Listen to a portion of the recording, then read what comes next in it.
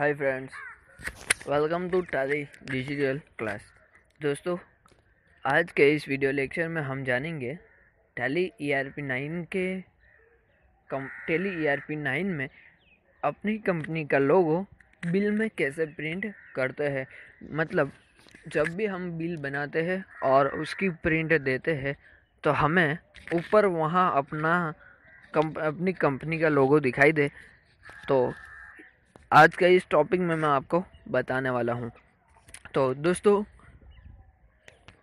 Video शुरू करने से पहले मेरी आपसे एक छोटी की, छोटी सी रिक्वेस्ट है कि अभी तक आपने मेरी चैनल को सब्सक्राइब नहीं किया तो सबसे पहले सब्सक्राइब कर लीजिए और बाजू में आते बेल आइकन को ज़रूर दबा लीजिए, ताकि नए नए वीडियो की नोटिफिकेशंस आपको मिलती रहे। तो दोस्तों, चलिए शुरू करते हैं आज का इस टॉपिक की Tally E R P nine में, लोगों कैसे प्रिंट करते हैं। तो दोस्तों, सबसे पहले मैं अपनी कंपनी का लोगो आपको दिखा देता हूँ। सबसे पहले जो मेरा लोगो है, मेरी कंपनी का टेली डिजिटल क्लास का जो लोगो है, वो मैं आपको यहाँ से दिखा देता हूँ सबसे पहले। देखिए दोस्तों, ये ये मेरी कंपनी का लोगो है। ये आ गया दोस्तों Tally digital class Tally education ये मेरी कंपनी का लोगो है। इसके बाद सबसे पहले मैं यहाँ पर Tally E R P nine खोल लेता हूँ। और Tally E R P nine खोलने के बाद हमें कुछ फीचर्स को इनेबल करना होता है। तो सबसे पहले मैं एफ़ इलेवन दबाता हूँ और आपका कम अकाउंटिंग फीचर्स आपको सबसे पहले दिख रहा होगा, वहाँ पर आपको एंटर देना है। और सबसे पहले बाद आपको यहाँ पर लास्ट में दिख रहा होगा इनेबल कंपनी लोगो आपको इसे यस कर देना है और आपके सामने कुछ ऐसा इंटरफेस आ जाएगा। जैसे आप यस करोगे तो आपके सामने कुछ ऐसा इंटरफेस आ जाएगा। तो दोस्तों, इसे यहाँ पर हमें ये कंपनी का जो भी लोगो है, उसका जो भी पाथ है, वो हम यहाँ, वह टेली आर पी नाइन में नाखना होता है। तो देखिए, आप यहाँ पर देख लीजिए, ये ले, ये कम कंपनी लोगों का लोकेशन है। तो इसे कॉपी कर लीजिए और यहाँ पर आके इसे पेस्ट कर लीजिए। जो भी लोगो आपने जहाँ भी सेव किया था, ये यहाँ पर, और ये जो भी लोकेशन है इसकी, वो यहाँ से मैं सेव कर लेता हूँ। ये हमारा डी सी ड्राइव में है, सी ड्राइव में।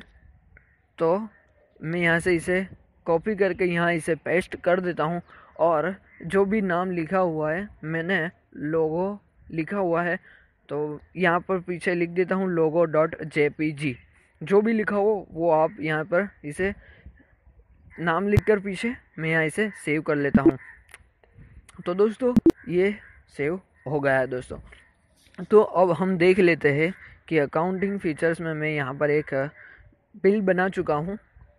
इसकी प्रिंट देकर हम मैं आपको यहाँ इससे बता देता हूँ दोस्तों।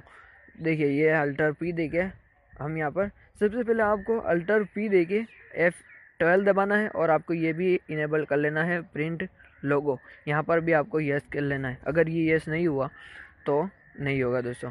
देखिए, मैंने एंटर कर दिया तो आपके सामने ये आ गया है दोस्तों।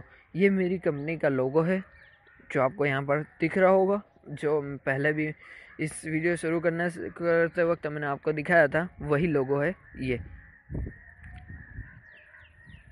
अगर आपका लोगो पाथ अगर आपने टेली ई नाइन में अगर आपका पाथ सही नहीं होगा दोस्तों तो ये यस नहीं होगा दोस्तों। मैं आपको फिर से एक और बार बता देता हूँ कि आपका जो लोकेशन में आपने रखा हुआ है, जो भी लोकेशन में आपने रखा हुआ है मतलब सी ड्राइव में आपने रखा है तो सी ड्राइव में, उसके बाद कौन से फोल्डर में आपने रखा है, वो फोल्डर में, इसके बाद अपने लोगो मतलब आपका लोगों का नाम आपने क्या दिया हुआ है, वो सब सही होना चाहिए, और उसके पीछे डॉट जेपीजी होना चाहिए।